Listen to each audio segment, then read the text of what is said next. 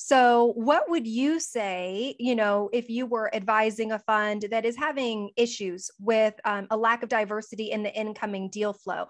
What's what are some of the things that you feel like they could start doing differently? So, I mean, I think that some um, some of the larger funds have started to take baby steps through venture partners like Lightspeed, uh, where they have found diverse uh, you know, sort of given them a small checkbook and said, you know, diverse uh, investors here, go out, find me more diverse deals. So I think that's a step in the right direction. I do think that, again, there are so few women, there are so few diverse investors. I do think that naturally that changes the dynamic just because our networks are what our networks mm-hmm. are.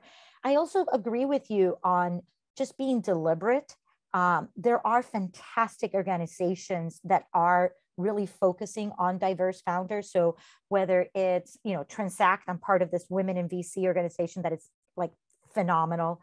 Uh, VC Familia, Latinx VC, Black VC, like all the uh, Latinas in tech, like there are these organizations. And I think um, it's supporting these organizations and getting, you know, but, but make it genuine. I think, you know, it's interesting because again, I come from the marketing world.